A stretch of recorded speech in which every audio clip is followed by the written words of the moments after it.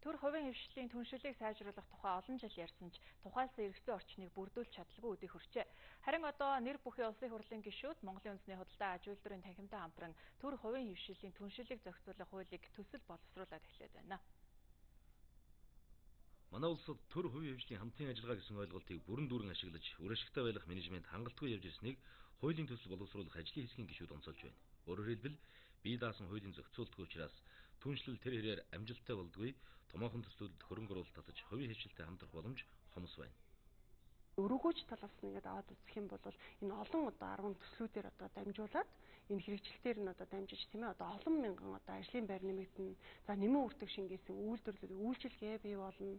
За улсын төсөвт одоо ирэх энэ дарамтыг одоо бууруулах замаар эдийн засгийг одоо сэргийгтэй зэрэгцээд одоо нийгэм тулгараад байгаа маш их олон асуудлуудыг одоо шийдвэрлэх юм боломж бүрдэх юм аа Хэрв төр хувийн хвшлийн харилцаа хамтын ажиллагааг зохицуулсан хуультай болвол үүнийг дагаад бүтээн байгуулалт дэд үтэц ажлын байр нэмэгдэх цаашлаад эдийн засгад хэлэх боломжууд тэр хэрээр нэмэгдэнэ. Монголын үндэсний худалдаа ажилтны танхимд аж ахуйн нэгжүүдийн зүгээс хамтын ажиллагааг өргөжүүлэхэд анхаарч өгөх хүсэлтүүдийг байнга тавьдаг. Гэвч наривчлсан хуулийн зохицуултгүй явж ирсэн учраас томоохон төслүүд амжилттай хэрэгжихгүй байна. Ерөөсөө энэ өөрөө хувийн стангаар хийх боломжгүй эсвэл төр дангаар хийх боломжгүй хамтраад илүү зөв хөшүүрэгтгэл ийм төслүүд байдаг л да урт хугацааны хөрөнгө оруулалт шаардлагатай. А тэгэхээр үүнийг хэрэгжүүлэхээр биш засгаа бид хэлэх боломжгүй.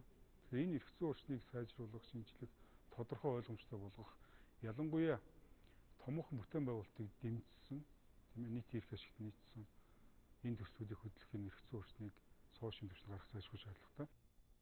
Төр хувийн хвшлийн хамтын ажиллагааг сайжруулж, улс орны хөгжлөө хурцсагсан бодиттой жишээ туршлах олон бий.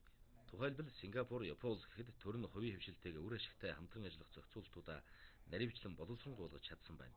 Товчхондоо дэлхийн нийт тоглоомын дүрмээ тохирчихсан байхад бид тодорхой дүрм журмгүй нөхцөл байдалтай явсаар байна.